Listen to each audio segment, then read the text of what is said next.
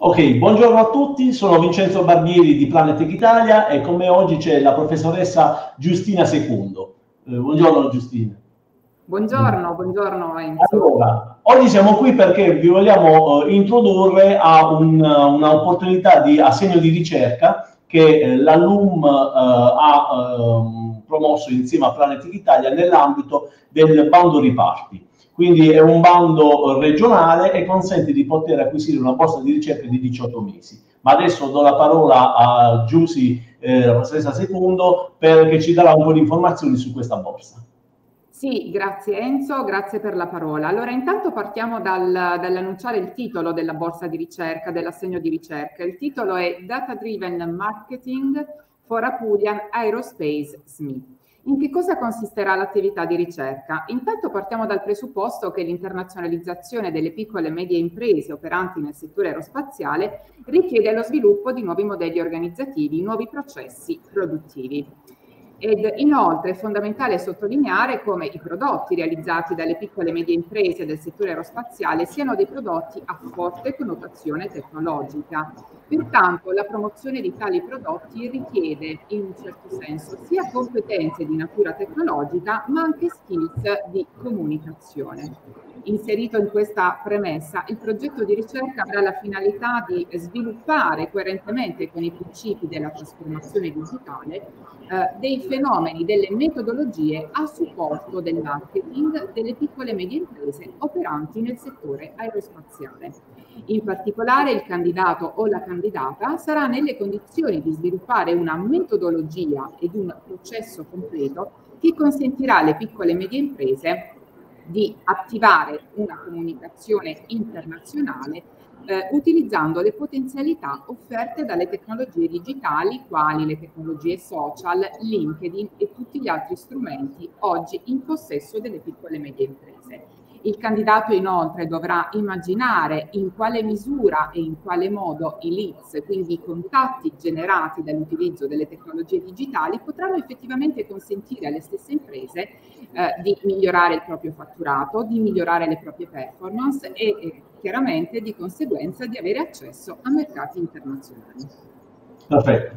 Sì, questo, um, diciamo, questa ricerca per noi è molto interessante perché abbiamo voluto promuoverla insieme all'UM uh, proprio per questo motivo. Noi siamo una uh, Planet che è un'azienda del settore aerospaziale, siamo circa 100 persone dislocate a Bari e, e ad Atene e eh, ci occupiamo di erogare servizi eh, che utilizzano dati telerilevati da satellite. Quindi noi facciamo monitoraggio dell'ambiente, del territorio e degli asset utilizzando dati telerilevati.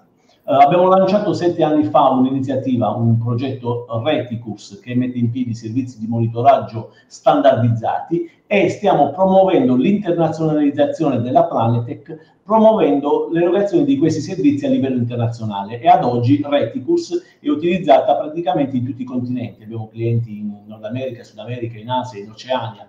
Quindi quello che adesso vogliamo fare è utilizzare, cercare di formalizzare e di standardizzare un processo che ci possa consentire di poter andare direttamente a fare vendita, diciamo fondamentalmente, eh, a livello internazionale, riuscendo a raggiungere dei mercati geograficamente lontani, ma anche verticali. E quindi l'iniziativa prevede da uno studio di come utilizzare gli strumenti social, per esempio LinkedIn, che è quello più importante, ma anche a monte cercare di capire se queste metodologie sono applicabili in alcuni contesti geografici in alcuni mercati verticali, perché se poi non si usa LinkedIn, diciamo, la tecnologia poi non sarebbe applicabile. Quindi è tutto uno studio che parte dalla fattibilità iniziale fino a raggiungere alla produzione di KPI, di indicatori che ci consentono di capire poi la validità dell'attività che stiamo svolgendo.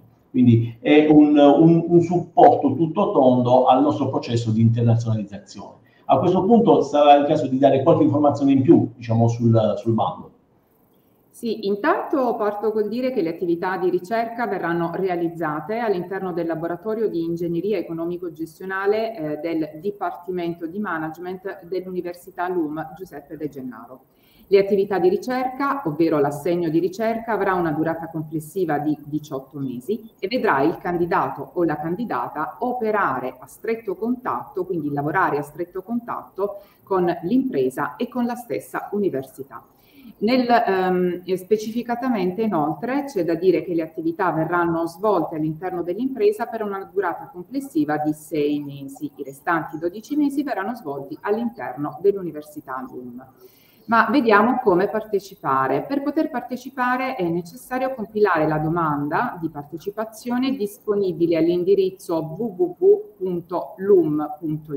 ovvero sul sito dell'Università LUM, nella sezione Ateneo, nella sottosezione Bandi e concorsi. Il potenziale candidato o candidata che cerchiamo dovrà essere un candidato in possesso di una laurea magistrale, specialistica o di vecchio ordinamento in ingegneria gestionale, ingegneria informatica, marketing o economia. E chiaramente la Commissione valuterà eh, l'esperienza professionale eventualmente posseduta dal candidato, eventuali titoli disponibili, quali per esempio le pubblicazioni scientifiche.